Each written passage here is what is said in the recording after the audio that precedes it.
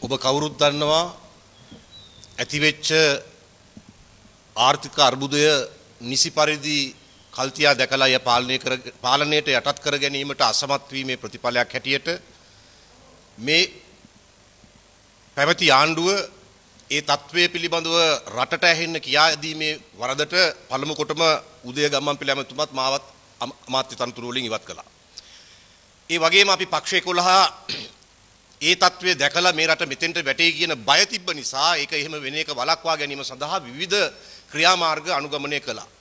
ඒ වගේම මේ తත්වය බරපතල වෙනකොට වෙන කවුරුවත් නිසි මඟ පෙන්වීමක් නොකරනකොට අන්තර්කාලීන පාලනයක් සර්වපාක්ෂික පාලනයක් පිහිටුවීමේ යෝජනාව ඉදිරිපත් කළා. අපි හැම විටම කටයුතු කළේ ඉතා වගකීම් සහගතව රටේ වර්ධනය වෙන අරාජිකත්වය වැඩි දියුණු කරන්න නෙවෙයි රටේ වර්ධනය වෙන අස්ථාවර භාවය වැඩි දියුණු කරන්න නෙවෙයි රට අරාජිකත්වයෙන් අරාජිකත්වයට ඇද වැටෙන එක වළක්ව ගැනීම සඳහා තමයි අපි ඊටාම සබුද්ධික මැදිහත් වීමක් කළේ. අපි දැනගෙන හිටියා මහින්ද රාජපක්ෂ අග්‍රාමාත්‍යවරයාගේ පට්ටම බේර ගන්න කට්ටිය කටයුතු කළොත් අන්තිමට පට්ටමයි අනිතු සියලු දේවලුයි මේ රටත් අපට නැති වෙන තැනකට පත් වෙනවා කියලා. ඒ නිසා තමයි අපි මුලින්දම්ම කිව්වේ අගමැතිවරයා ඇතුළු අමාත්‍ය මණ්ඩලය ඉල්ලාස් වෙන්න ඕනේ. සර්වපාක්ෂික අන්තර්කාලීන පාලනයක් පිහිටුවලා මේ රට සංසුන් කරගෙන මේ තිබෙන ආර්ථික මේ අස්ථාවර භාවයෙන් රට මුදාගෙන යම්කිසි ස්ථාවර තැනකට ගියාට පස්සේ මහජනයාට අවස්ථාව දෙන්න ඕනේ. ඔවුන්ගේ විරෝධය ඡන්දෙන් ප්‍රකාශයට පත් කරන්න ඔවුන්ගේ මතය ඡන්දෙන් ප්‍රකාශයට පත් කරන්න. මේක තමයි අපි කියපු ගමන් මාර්ගය. ඒ ගමන් මාර්ගයේ මේ රට ගෙනියන්න ඉඩ දුන්නේ නැත්තේ කවුද? ඒ ගමන් මාර්ගයේ වැළකුවේ කවුද? ඒ ගමන් මාර්ගයේ වැළකීම සඳහා අගමැතිවරයාට අද මේ සිද්ධි ඔක්කොම වුණාට පස්සේ ඉල්ලාස් වෙන එක නෙවෙයි. මේවා මෙතෙන්ට එන්න කලින් ඉල්ලාස් වෙන්න නොදුන්නේ කවුද? අද ඔය අරලියගහ මන්දිරයට කැඳවපු මිනිස්සුන්ට උද්වේග කර ආවේගශීලී කතා පවත්වලා ප්‍රචණ්ඩත්වයට පෙළඹෙව්වේ කවුද? ජොන්ස්ටන් අමාත්‍යවරයා ඇතුළු කල්ලියක් තමයි බැසිල් රාජපක්ෂගේ උපදෙස් සහ මඟ පෙන්වීම මත හොරා කාපු සල්ලි වීදම් කරගෙන තමයි ඒ තමන්ගේ පාක්ෂිකයව කුළුගු අන්නලා උසි ගන්නලාද අර අරලියගහ මන්දිරේ ඉදිරිපිට තිබෙන ඒ විරෝධතා කරුවන් එලවලා දාන්නත් පහර දෙන්නත් ඒ වගේම ගාලු මුහුදුරට ගිහිල්ලා පහර දෙන්නත්. මේක ඉතා අවාසනාවන්ත තත්වයක්. අපි එක දෙයක් පිළිගත යුතුයි. ඒ අරගලේ සිටින තරුණ දූදරුවන්ගේ හැම දෙයක්ම අපි අනුමත කරනවද නැද්ද කියන එක නෙවෙයි. හැබැයි එක දෙයක් ඔවුන්ට ගෞරවය පිණිස කිය යුතුයි. ඔවුන් මේ දාක් දක්වා ඒ සාමකාමී අරගලයක තියෙන ගුණය ආරක්ෂා කරගන්න කටයුතු කළා. ඒ ගෞරවය අපි ඔවුන්ට පිරිනැමිය යුතුයි නිර්ලෝභීව.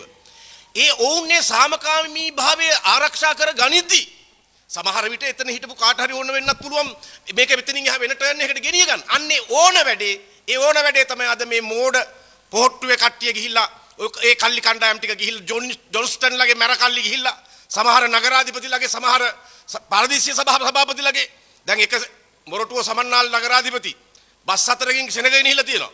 බස් හතරම ඉඳලා තින්නේ මොරටුව නගර සභාවේ වැඩ කරන දෛනික ගාස්තු ගෙවන දවසේ දීමනාවට වැඩ කරන ස්ථිර නොවූ සේවකයන්ම තමයි දාගෙන ගිහිල්ලා තියෙන්නේ. ඒ මිනිස්සු යන්න කැමති වෙලත් නැහැ. හැබැයි උඹලව මම ස්ථිර කරන්නේ නැහැ. ආවේ නැතොත් කියලා තමයි බස් එකට පටවගෙන ගිහිල්ලා තියෙන්නේ. දැන් ඒ අහිංසක මේ මේ කිසිම ආකාරයකින් චේතනාන්විතව මේ වැඩේට සම්බන්ධ නැති තමන්ගේ රස්සාව බේර ගැනීම අරමුණින් ආපු මිනිසුන්ටත් අද ගුටි කන්න සිද්ධ වෙලා තියෙනවා. දැන් ජොන්ස්ටන් ඇවිල්ලා මේ මිනිස්සු බේර ගන්නවද? දැන් බැසිල් රාජපක්ෂ ඇවිල්ලා මේ මිනිස්සු බේර ගන්නවද? දැන් මහින්ද රාජපක්ෂ ඇවිල්ලා මේ මිනිස්සු බේර ගන්නවද? තමන්ගේ පාක්ෂිකව හැමතැනම ගුටි කන තත්ත්වයට පත් වෙනකම් මොකද හිටියේ? ඉල්ලාස්සුමේ ලියුම දෙන්න. ඒකද නායකයා කියන්නේ. නායකයෝ කියන්නේ අවදානම භාරදූර වගකීම ගන්න ඕන. අයින් වෙන්න ඕන තරදී අයින් වෙන්න පුළුවන් වෙන්න ඕන. ඒ ඒ හැකියාව නැත්තම් ඔවුන් නායකයෝ නෙවෙයි බලපෙරේතයෝ. ඒ නිසා තමයි දැන් අපි මේ මේ අවාසනාවන්ත తත්වය වෙන්න ඉඩ තියෙන බව දැකපු නිසා මේක වළක්ව ගැනීම වෙනුවෙන් අපි අපට කරන්න පුළුවන් මැදිහත් වීම කරා දැන් ඒ අපි අපේක්ෂා නොකල ප්‍රාර්ථනා නොකල එහෙත් විය හැකියයි හිතුව ඒ අවාසනාවන්ත තත්වයට අපේ රට ගොදුරු වෙලා තියෙනවා අපි මේ අවස්ථාවේදී දන නමස්කාර කරලා වැඳලා ඉල්ලන්නේ සෑම පාර්ශවයකකින්ම කරුණා කළා සාමකාමී වෙන්න. ප්‍රචණ්ඩත්වයේ මේකට අපිට උත්තර ගේන්නේ නැහැ ලෝකේ මෑත ඉතිහාසයේ මැද පෙරදිග රටවල් වල ප්‍රචණ්ඩත්වයෙන් සියල්ල විසඳ ගන්න ගියාට අන්තිමට රාජ්‍යයක් නැති වුණා සියල්ල නැති වුණා. ඒ නිසා ප්‍රචණ්ඩත්වයට මේකේ නැගී සිටීම සඳහා අනුබල දෙන්න එපා. ප්‍රචණ්ඩත්වයෙන් තොරව තමන්ගේ සාමකාමී විරෝධය පාන තමන්ගේ මතය ඉදිරිපත් කරන්න. කරුණාකර මේ රට ලේ විලක් බවට පත් කරන්න සමහර බලවේගවලට ඕනකම තියෙනවා. ඒ ඕනකම නම් ඉටු කරන්න එපා. ඒක ඒක කිරීමෙන් වෙන්නේ ඔබත් අපත් රටත් අපේ මතු පරපුරත් සැවම එකම සොහනක වැළලෙන දිනයක් උදා වෙන එක විතරයි. ඒ නිසා මේ තීරණාත්මක වෙලාවේ අපි ඊටාම පිළිකුලෙන් හෙලා දකිනවා අද මේ කරපු තකතිරු මැර ප්‍රහාරය ඒ වගේ මේකට පොළඹවපු ජොස්ටන් ඇතුළු සියලු දේශපාලඥයෝ මේකට වග කියන්න ඕන. ඒ වගේම නීතිය ක්‍රියාත්මක කරන්න ඕන. නිකන් ඔය පාරේ කෑ ගහපු කට්ටියට නෙවෙයි පුළුවතේ තියා හිටපු කට්ටියට විතරක් නෙවෙයි. නීතිය ක්‍රියාත්මක කරන්න ඕන. එතනට ඒ අය උසි ගන්නපු ජොස්ටන් ප්‍රනාන්දුලව දක්වා අත්අඩංගුවට අරගන්න ඕන. එහෙම බරසාර මැදිහත් වීමක් කරොත් පමණයි මේ කුපිත වෙලා ඉන්න මහජනයා නිහඬ වෙන්නේ. එහෙම නැතුව නැතුව මේක සාමාන්‍ය තත්ත්වයක් හැටියට සලකලා කටයුතු නොකළ යුතුයි කියන එකයි අපේ යෝජනාව. ඒ වගේම අපි අපිට අපිටත් වගකීමක් තිබෙනවා අපිට අපේ රටේ මිනිස්සු ඡන්ද දීලා පත් කරපු මහජන නියෝජිතයෝ හැටියට ඒ මිනිස්සු පාරට බැහැලා කෑකෝ ගහන තත්ත්වයක් යටතේ මේ රට අස්ථාවර සහ හරාජික වෙන තත්ත්වයක් යටතේ අපිට අපේ වගකීමෙන් මිදෙන්න බෑ අපි අවසන් තප්පරය දක්වා උත්සාහ කරනවා මේ තත්ත්වය නිවලා මේ තත්ත්වය සංසුන් කරලා මහජනයට පිළිගත හැකි පාලන තන්ත්‍රයේ පරිවර්තනයක් ඇති කරලා එමගින් මේ වැඩෙන වර්ධනය වෙන ආරාජික සහස්ථාවර භාවය පරාජයට පත් කරන්න අපි ඉතා ඕනකමින් සියලු දෙනාට මේ ඒ සඳහා සහයෝගය ලබා දෙන මෙන් ඉල්ලනවා. ඒ වගේම තව දෙයක් මම කියන්න කැමතියි. දැන් අද ඔය ගාලු මූදුරට ගියාම විපක්ෂ නායකතුමාටත් විරෝධයක්කට මුහුණ දෙන්න වුණා.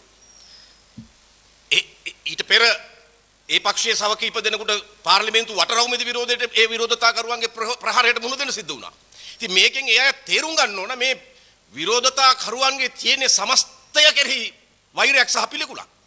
එතකොට ඒ එහෙම තත්වයක් තියදී තම තමන්ගේ නැන පමණින් එක එක ඒවා කරාට මේ රටේ මේ අර්බුදය අපිට පියමන් කරන්න බෑ. ඒ නිසා අපි තා ඕනකමින් ඉල්ලනවා හැම දේශපාලන නායකයෙකුගෙම ප්‍රඥාවන්ත වෙන්න පුළුල්ව හිතන තමන්ගේ පුංචි කෑල්ල දිහා බලාගෙන ඉන්නේ නැතුව මේ මේ තත්වයෙන් පියමන් කිරීම සඳහා මැදිහත් වෙන්න කියලා අපි තා ඕනකමින් ඉල්ලනවා.